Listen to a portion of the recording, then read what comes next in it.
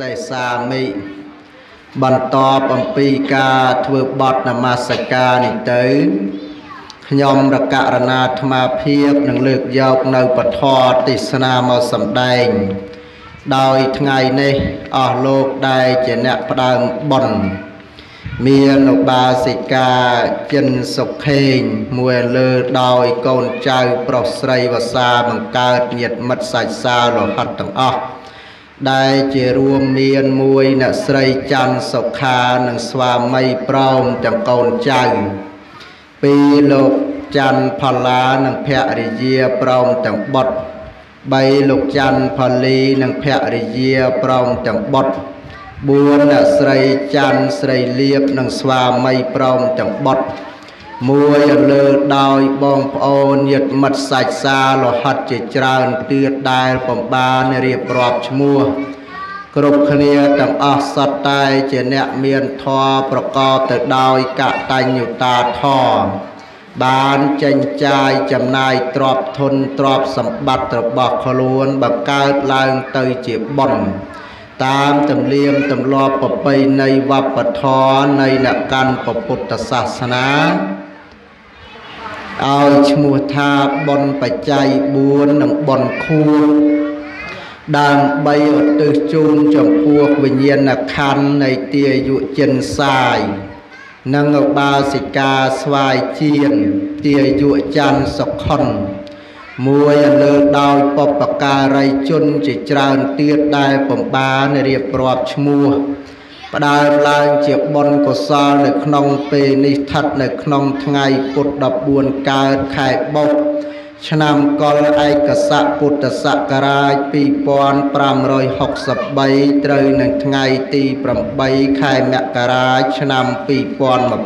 2020នៅគេរដ្ឋានរបស់ញោមម្ចាស់ប៉ុនគឺឧបាសិកាចិនសុខេង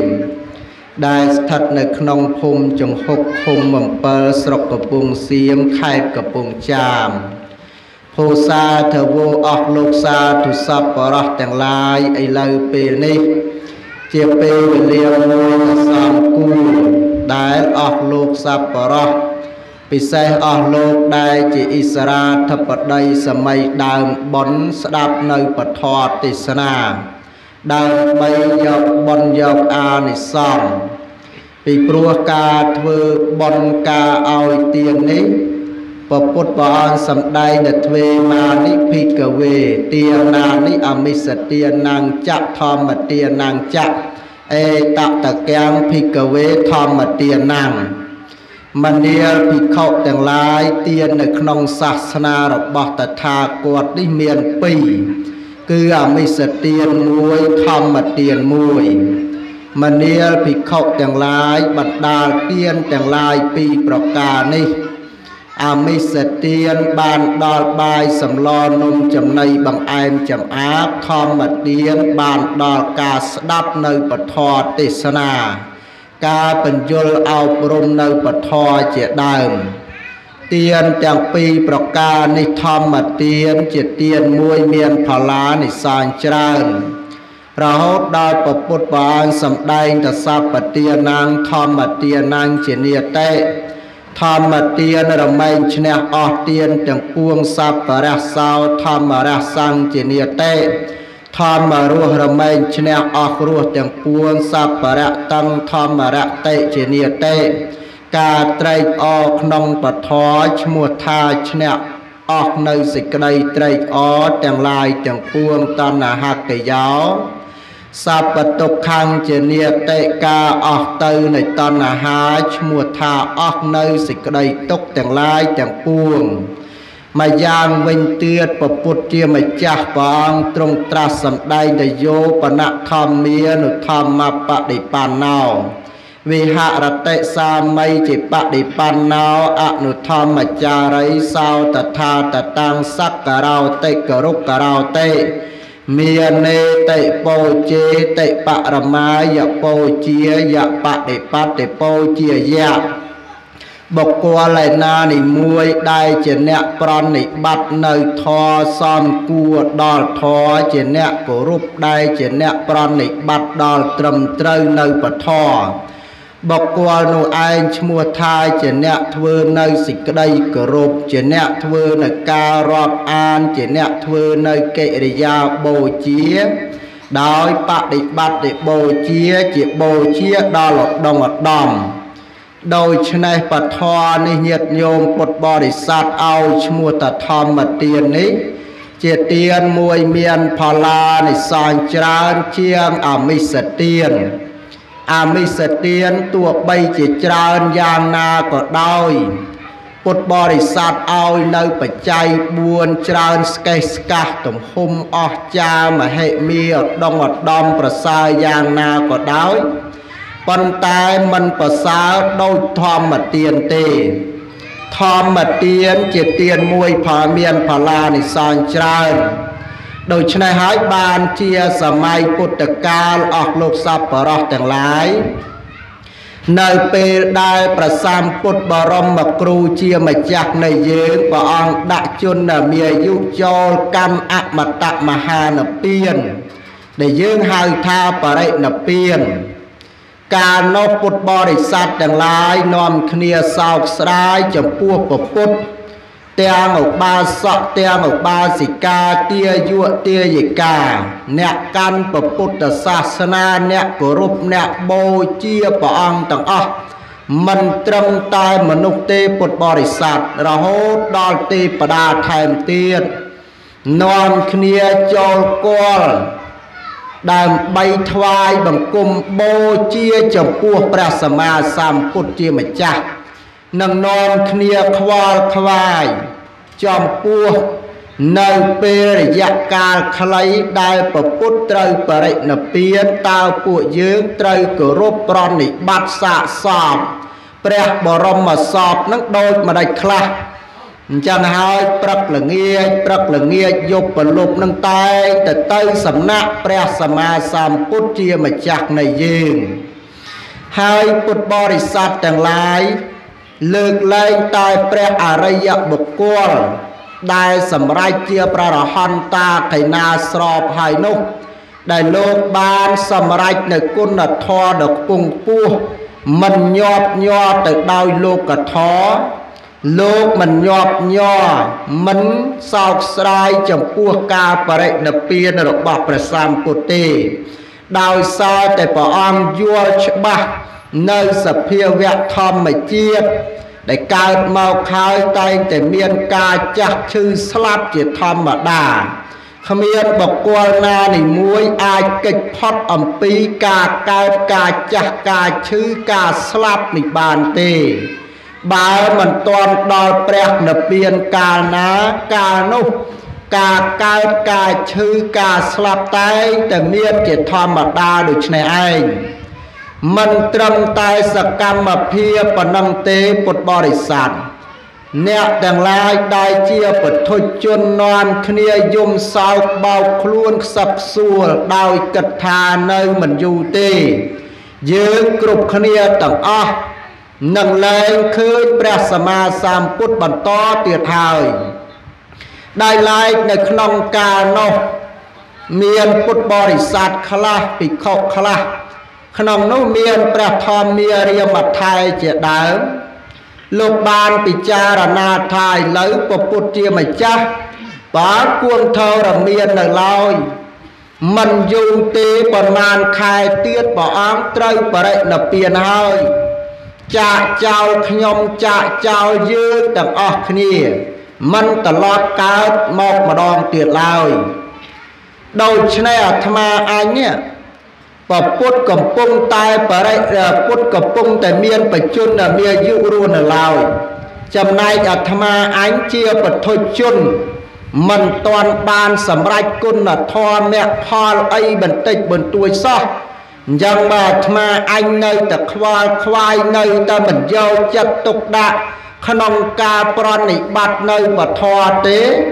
អញនឹងមិនសមជាកូនសិស្សមិនសមជាព្រះភិក្ខុបកទៅដោយកតញ្ញូចំពោះព្រះសម្ពុទ្ធជាម្ចាស់ឡើយគួរតែអាត្មាអញប្រឹងប្រែងហាត់ពុទ្ធលុតដំអប់រំចិត្តប្រណិប័តនៅពធ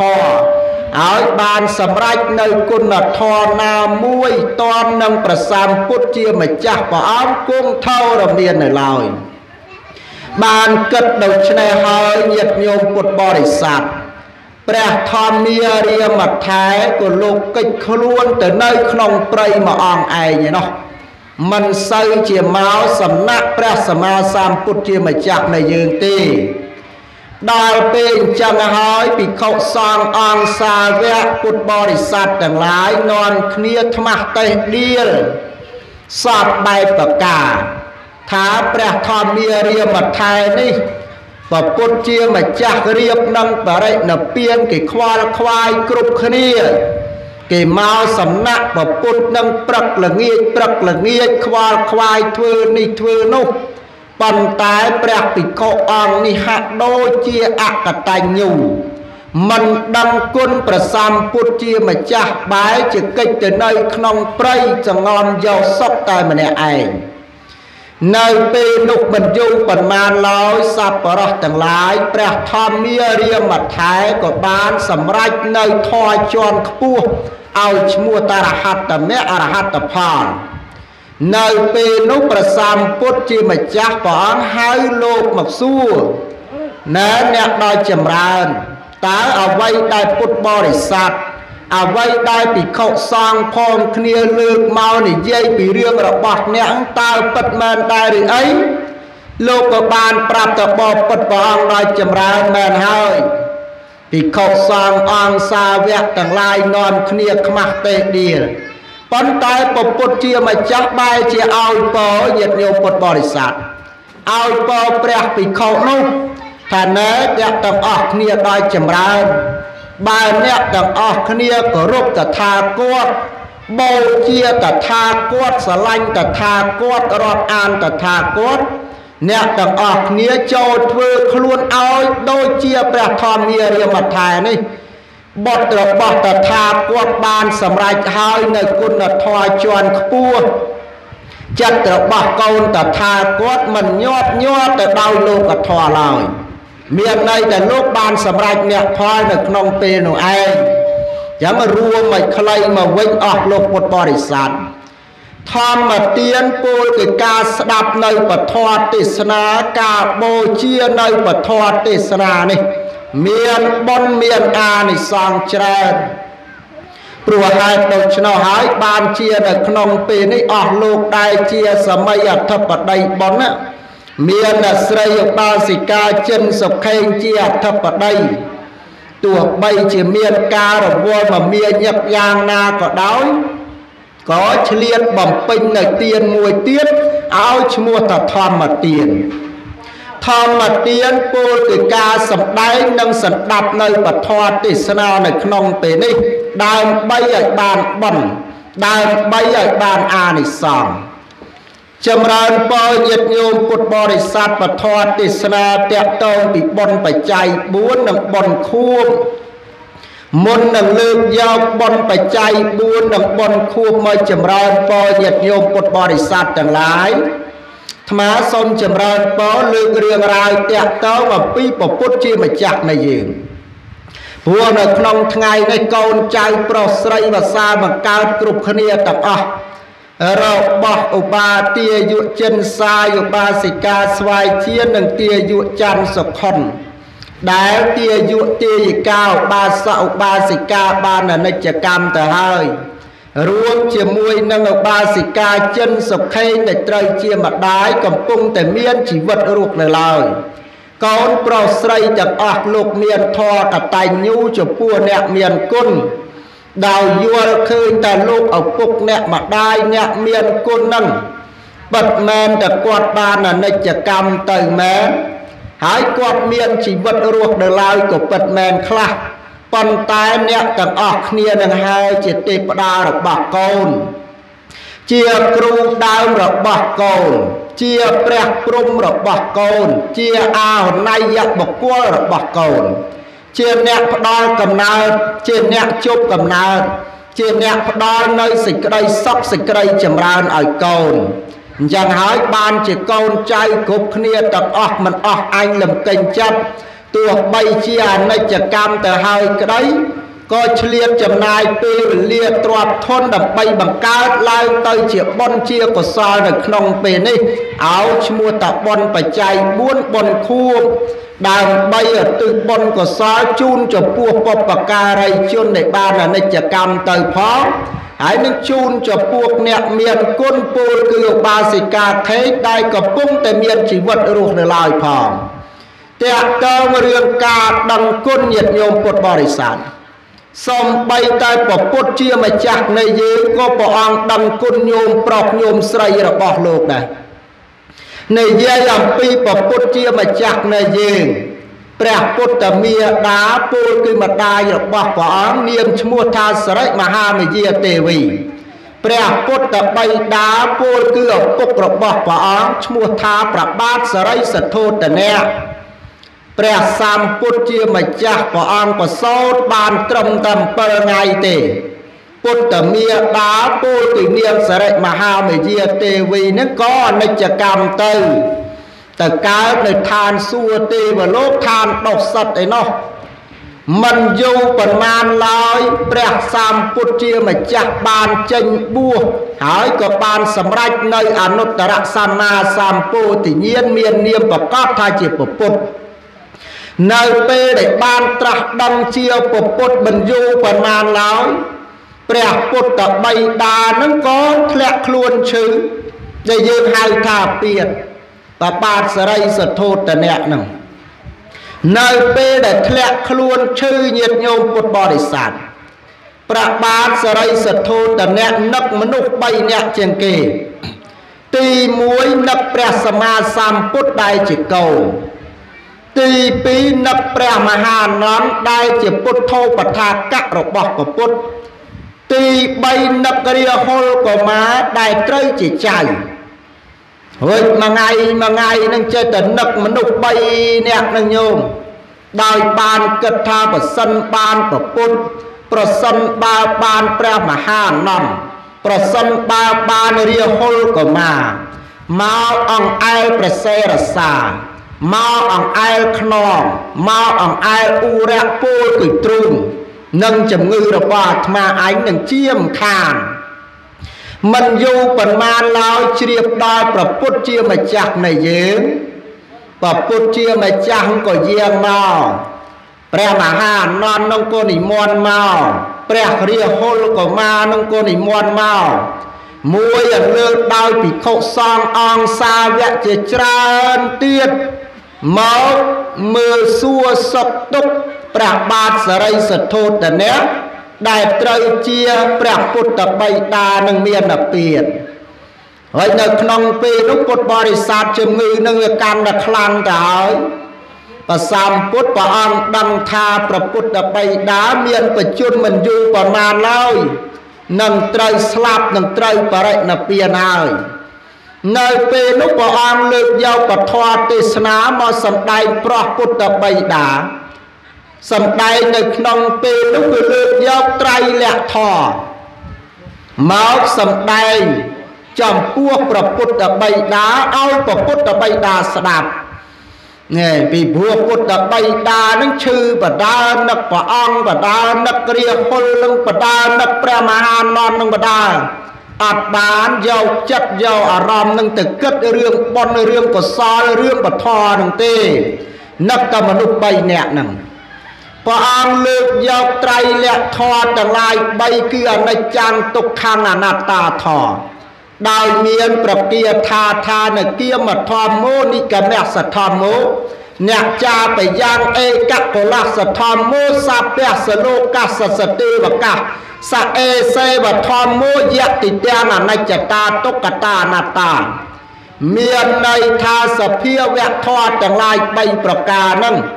អនិច្ចំសភាវៈប្រែប្រួលមិនទៀងទាត់ទុក្ខំសភាវៈជាទុក្ខអនត្តាមិនមែនជារបស់ខ្លួនសភាវៈធម៌ទាំងឡាយ3នេះមិនមែនជាធម៌សម្រាប់អ្នកស្រុកតែមួយមួយទេមិនមែនជាធម៌សម្រាប់អ្នកនិគមតែមួយមួយទេមិនមែនជាធម៌សម្រាប់តកោតែមួយមួយទេ ឬមិនមែនជាធម៌សម្រាប់បុគ្គលណាតែមួយមួយទេ អនិច្ចំទុក្ខំអនត្តាធម៌នេះជាធម៌សម្រាប់មនុស្សសត្វទូទៅទាំងអស់តាំងពីមនុស្សលោករហូតដល់ព្រហ្មលោកសត្វលោកដែលកើតនៅក្នុងភពត្រៃតែទៅជួបប្រទះនៅធម៌ទាំង3នេះពោលគឺអនិច្ចំទុក្ខំអនត្តានឹងជាធម្មតា ក្រោយអំពីប្រសាមពុទ្ធសម្ដែងជាអនិច្ចបរិយាយតាក់ទងអំពីសភាវៈធម៌ទាំងឡាយ3អនិច្ចំទុក្ខំអនត្តាចប់ហើយកាលណាព្រះពុទ្ធបិតាស្ដាប់នៅពធបានដោយយកចិត្តទុកដាក់ជ្រះថ្លាបំផុតទីបំផុតព្រះពុទ្ធបិតានឹងក៏បានសម្រេចនៅធម៌ជាន់ខ្ពស់ពោលគឺរហត្តមគ្គអរហត្តផល មិនយូរប៉ុន្មានឡើយ7ថ្ងៃហ្នឹងក៏បរិណពានបាត់ទៅនឹងប្រពុតទៅសំដែងធម៌ប្រោះពុទ្ធបិតាដែលកំពុងតែមានអពាតនោះឲ្យបានសម្រេចធម៌ជាន់ខ្ពស់ពោលគឺរហត្តមគ្គអរហត្តផល ចំណែកពុទ្ធបិតាញាតពុទ្ធមេដាញោមពោលគឺនាងសរិមហាមយាទេវីដែលត្រូវជាពុទ្ធមេដាហ្នឹង ដែលព្រះពុទ្ធព្រះអង្គប្រសូតបាន7ថ្ងៃហើយក៏អនិច្ចកម្មទៅទៅកើតជាទេវតាឋានរបស់សត្វទៅណោះព្រះអង្គប្រសូតបានតែ7បរិត្រាស់ដឹងជាព្រះពុទ្ធបានតែ7ឆ្នាំ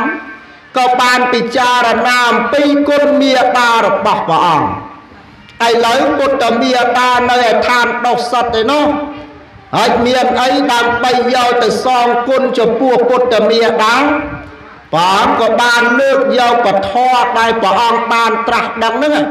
ទាំង84000បឋមខណ្ឌ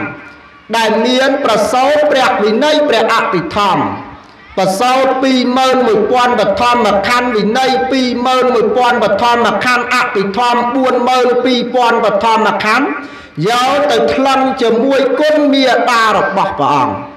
ដើមដំបូងឡើយលោកយកប្រសូតមាន21000បឋមខណ្ឌទៅថ្លឹងជាមួយគុណម្ដាយលោកដល់ថ្លឹងចុះថ្លឹងឡើងទៅឃើញតែគុណម្ដាយលោកនឹងឯងធ្ងន់ជាងណាប្រសូត21000បឋមខណ្ឌដូច្នេះព្រះអង្គទុកប្រសូតមួយឲ្យលើសិន លើកយកព្រះវិន័យទាំង21000បឋមខណ្ឌដែលមាន5ប្រកម្ម2មានកម្ពីអាតិកម្មបាចិត្តយៈចលវៈមហាវៈបរិវារៈយកទៅថ្លឹងជាមួយគុណមេដារបស់ព្រះអង្គម្ដងទៀតថ្លឹងចុះថ្លឹងឡើងទៅញាតិញោមពុទ្ធបរិស័ទបានដឹងបានជ្រាបតគុណព្រះវិន័យ ទាំង21000បឋមខណ្ឌនេះមិនស្មើគុណមេតារបស់ព្រះអង្គឡើយទុកព្រះវិន័យដោយឡែកមកខាងទៀតលើកយកគំពីព្រះអភិធម្ម3ដកទាំង7ប្រកម្ម2មានកម្ពីធម្មសង្កណី1កម្ពីវិភាំង1កម្ពីធតកថា1កម្ពីបកលបញ្ញត្តិ1យមកៈ1មហាបฏដ្ឋាន1កថាវត្ថុសរុបទៅមាន7ហ្នឹង ដែលមាន42000បឋមខណ្ឌយកទៅថ្លឹងជាមួយគុណមេតារបស់ព្រះអង្គថ្លឹងចប់ថ្លឹងឡើងទៅឃើញតែគុណព្រះអភិធម្ម3ដកមានតម្លៃស្មើនឹងគុណមេតារបស់ព្រះអង្គបានដឹងហើយកាលណាពុទ្ធបរិស័ទភាសាទី7ក៏ព្រះអង្គយកធម៌ព្រះអភិធម្មហ្នឹងទៅប្រោះពុទ្ធមេតានៅឋានតាវតឹងឯណោះ ញាតញោមពុទ្ធបរិស័ទទាំងឡាយក្នុងពេលនោះពពួកទេវតាស័កតូចស័កធំមៀព្រំទាំងឡាយសរុបទៅ80កោច្រើនណាស់មកស្ដាប់ធម៌របស់ព្រះសម្ពុទ្ធក្នុងពេលនោះដោយឡែកពុទ្ធមេដាពលគឺសិរិមហាមេយាទេវីទេវេដាហ្នឹងក៏មកស្ដាប់ធម៌របស់ព្រះអង្គដែរស្ដាប់ហើយកាលណាដោយសង្ខេបព្រះពុទ្ធមេដា ក៏បានសម្រេចនៅធម៌ជាន់ខ្ពស់ឲ្យឈ្មោះតលោកានាមិសសោតា ជាសោតាមិនត្រឡប់កើតមកជាមនុស្សម្ដងទៀតឡើយព្រោះជាធម្មតាបុគ្គលដែលបានសម្រេចសោតាហ្នឹងបើស្លាប់ទៅទៅកើតជាទេវតាឋានសួគ៌ទាំង6ជាន់ក្តីត្រូវមកកើតមនុស្សលោកនឹងយ៉ាងតិច7ជាតិទៅបានបរិណិព្វាន ដោយឡែកពុទ្ធមេតាពលគឺនាងសរិមហាមយាទេវីនេះនៅពេលដែលបានសម្រេចនៅធម៌ជន់ខ្ពស់ឲ្យឈ្មោះទៅលោកកាលណាមិសសោតាហើយសោតាដែលបានសម្រេចនេះឯងពុទ្ធបរិស័ទមិនត្រឡប់កើតមកជាមនុស្សទេប្រណិបត្តិពីរហូតទៅបន្តិចម្ដងបន្តិចម្ដងបន្តិចម្ដងពីជាន់ទី1ទី2រហូតចឹងទៅ ទីបំផុតក៏បរិណិព្វានតែម្ដងអញ្ចឹងមានន័យថាព្រះអង្គនឹងបានត្រាស់ដឹងជាពុទ្ធហើយនោះព្រះអង្គដឹងគុណមេតារបស់ព្រះអង្គដឹងគុណប្របីតារបស់ព្រះអង្គដើមដំបូងឡើយធ្វើបុណ្យសម្ដែងធម៌ទេសនាប្រោះពុទ្ធបិតាបន្ទាប់មកទៅសម្ដែងធម៌ទេសនាប្រោះពុទ្ធមេតានៅឋានតាវតੰ ទីបំផុតនឹងប្រពុទ្ធមេតាក្តីប្រពុទ្ធបិតាក្តីសុទ្ធតែបានសម្ដែងធម៌ទាំងអស់នឹងលើករឿងបញ្ជាក់មកប៉ុណ្ណេះដើម្បីឲ្យញាតិញោមពុទ្ធបរិស័ទទាំងអស់ពិសេសញោមម្ចាស់ដើមទៀនប្រធានដើមប៉ុនឲ្យបានជ្រាបតែចឹងថ្ងៃនេះកូនចៅប្រុសស្រីភាសាបង្កើតគ្រប់រូបរបស់ទាយុចិនសាយុបាសិកាស្វាយជានិងទាយុច័ន្ទសុខុន ព្រមទាំងឧបាសិកាចិនសុខេងដែលទាយុទាយកាឧបាសកឧបាសិកាខ្លះក៏អនិច្ចកម្មខ្លះក៏មានជីវិតរស់នៅប៉ុន្តែអនិច្ចកម្មក្តីមានជីវិតរស់នៅក្តីកូនចៅគ្រប់គ្នាទាំងអស់បានធ្វើបុណ្យធ្វើកុសលជូន ក្នុងនោះមានបុណ្យបច្ច័យ4និងបុណ្យខួបជាដើមនឹងដើម្បីឧទ្ទិសបុណ្យឧទ្ទិសកុសលជូនចំពោះទាយុចិនសាយឧបាសិកាស្វាយជានិងទាយុច័ន្ទសខុននឹងឲ្យទាយុទាយិកាឧបាសកឧបាសិកាបានសម្រេចនៅសេចក្តីសុខសេចក្តីចម្រើនពីព្រោះពពុទ្ធព្រះអង្គសម្ដែងថាទាសេមេអាកាសេមេញាតិមត្តាសុខាចមេបេតាតេកេណាងតាជាពពេកតមនុស្សរាំង កូនប្រុសស្រីជនដែលណានីមួយចង់ផ្ដល់នៅសេចក្តីសុខសេចក្តីចម្រើនដល់អ្នកដែលបានស្លាប់ទៅដែលត្រូវជាមាតាត្រូវជាបីតាត្រូវជាសាច់ញាតិលោកអ្នកមានគុណនឹងយើងចង់ផ្ដល់នៅសេចក្តីសុខសេចក្តីចម្រើនឲ្យកូន វិធីមួយយ៉ាងគួតពោលគឺបុណ្យកុសលតេកេណានុបទានដូចជាការធ្វើនៅក្នុងឱកាសពេលវេលានេះហើយនឹងអ្នកដែលបានស្លាប់ទៅនឹងរមែងទៅទួលយកបុណ្យយកអានិសង្សសេចក្តីសុខសេចក្តីចម្រើនដោយអំណាចផល្លានិសង្សដែលញោមម្ចាស់បុណ្យឧទ្ទិសឲ្យនេះឯងសូមអនុមោទនា